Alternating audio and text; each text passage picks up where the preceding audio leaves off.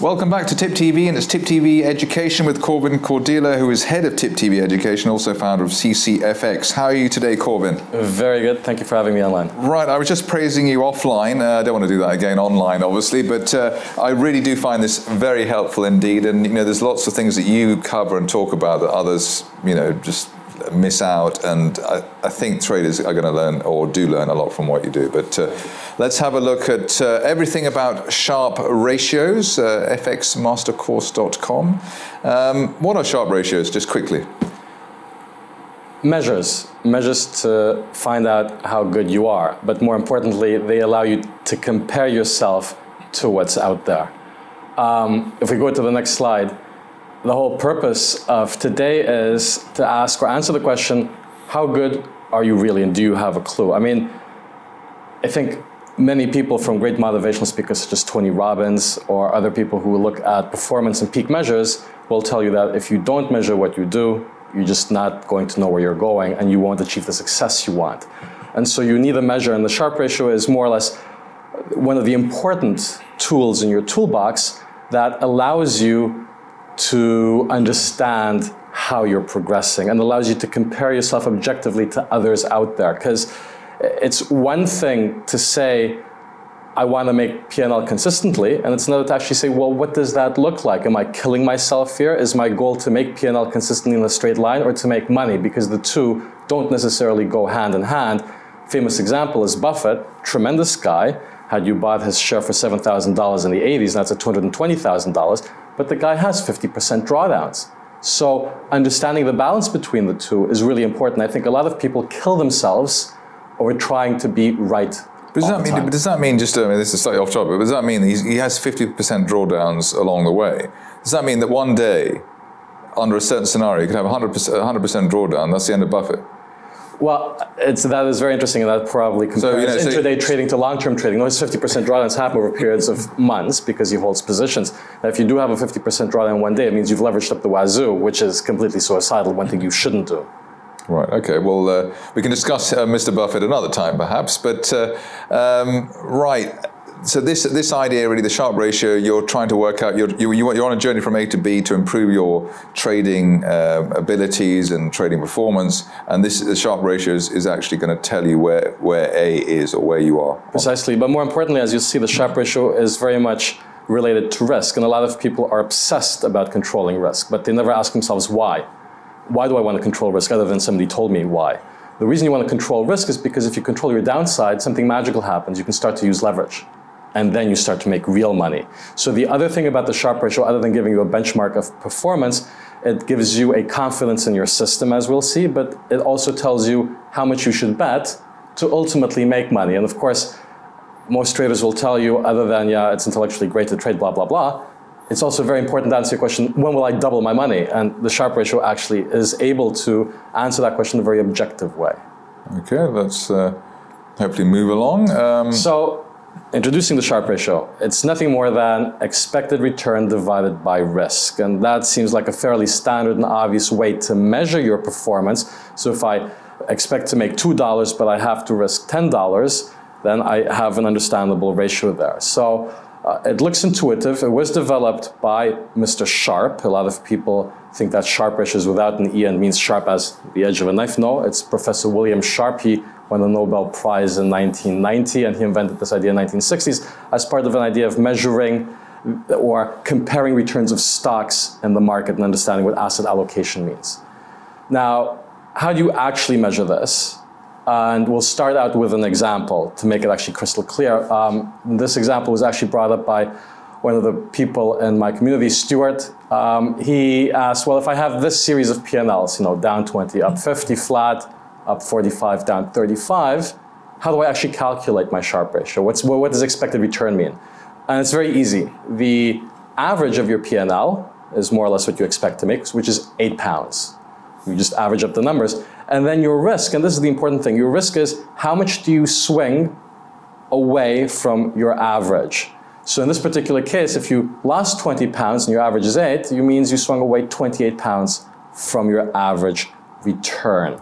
And so if you look at your swings from 8 pounds That's on the third line. If you take the average of that, you get around about between 20 and 30 pounds, depending on how you measure average.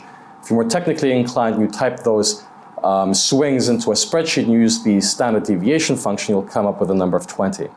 So we have my average return, which is just the average of my P&L, divided by my average swing, which is 20. So in this particular case, the Sharpe ratio is 0.4.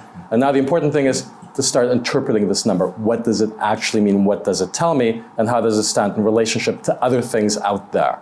And the reason this latter point is so important because it makes you feel good. If you can compare yourself to a guy like Buffett, you feel good about yourself. If you don't know how to do that and you think you're the last bum on the street trading, trust me, your trading is going to go down the drain as well. Right, okay. So, um, next slide. Um, the one thing that people tend to gloss over is Sharpe ratio is very much related to time. This is more or less a tangential side point, but we mentioned the five trades over there and you got a number of 0.4. It's very important to bear in mind that when we talk about Sharpe ratio, we talk about annualized numbers. So a Sharpe ratio measured over a month is not going to be the same as over a year. And why is that?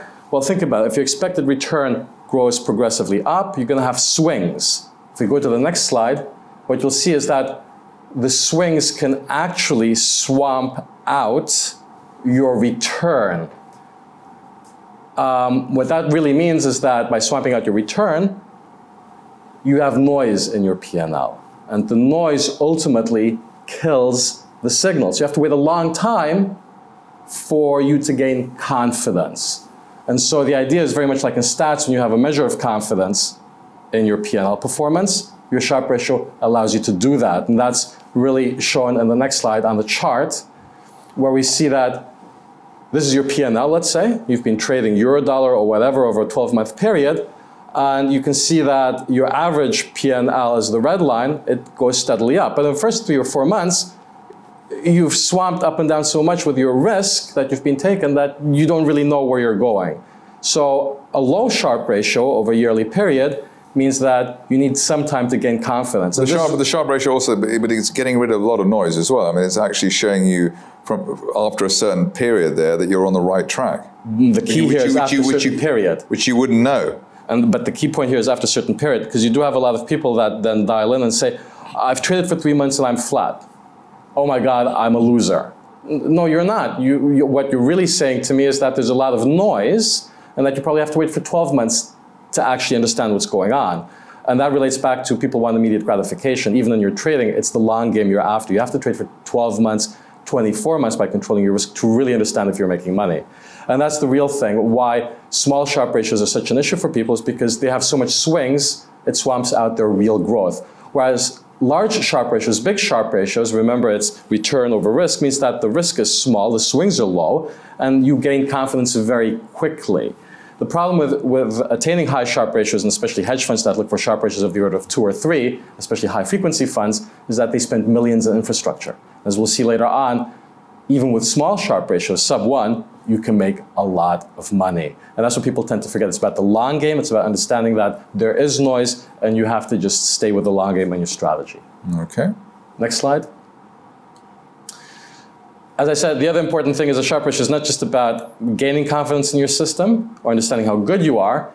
It's also about telling you how much you should bet. And that's the great thing about that. Um, there is something called the Kelly ratio, and the Kelly ratio is actually derived from the Sharpe ratio. It's nothing more than the Sharpe ratio divided by the risk. So let's take the S&P for instance. It has an annual risk, so an annual swing of 16%. It's got an average Sharpe ratio of 0.5 if you work out the numbers. So if you divide 0.5 by 0.16, you get three times leverage. So that means that you should trade the S&P three times leverage to get the optimal bang for your buck over the long term. Um, that means you're going to have wild swings. So a lot of people then take a fraction of this ratio and maybe trade half of it rather than full.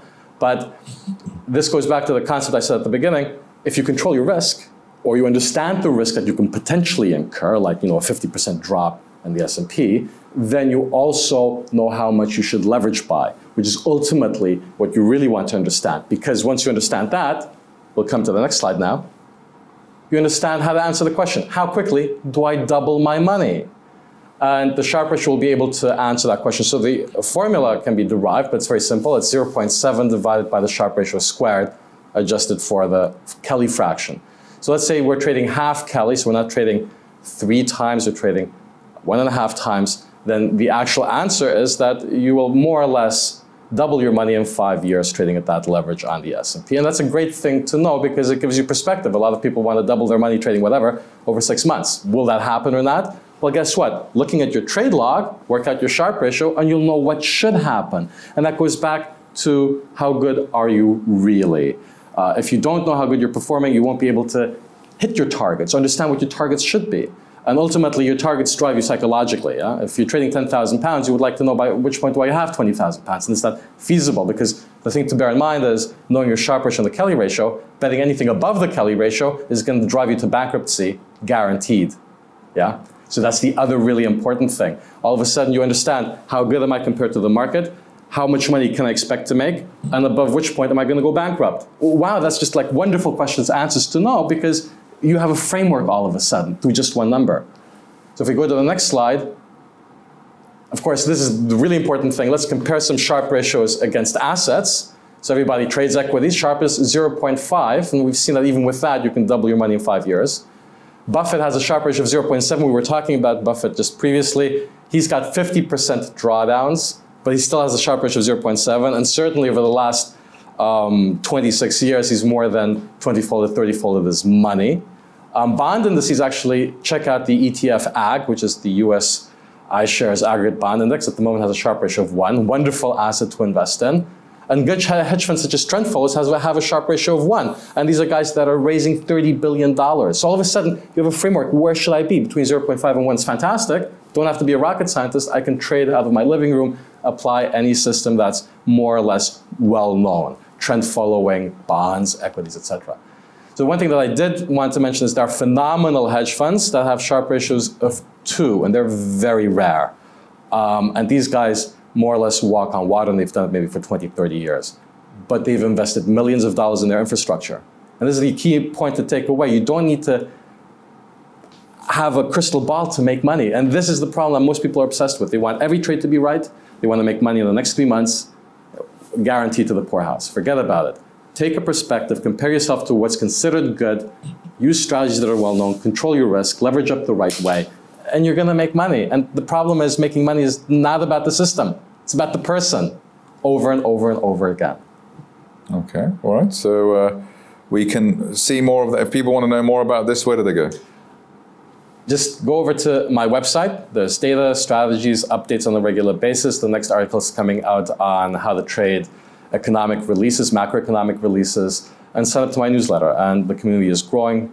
People are reading, answering, commenting, and it's very vibrant. And the point about setting up the website is uh, when you trade in a hedge fund, what you really do is you sit in front of a computer screen and you just don't talk to many people. And being able to branch out and communicate to humans out there is fantastic because guess what? People generate ideas, and all of a sudden you tap into a network where you cross pollinate. It's a wonderful, wonderful situation. On that note, uh, Corvin Codirla, founder of CCFX and uh, head of TIP TV Education, thank you very much for coming in today. Thank you. We'll be back after the break.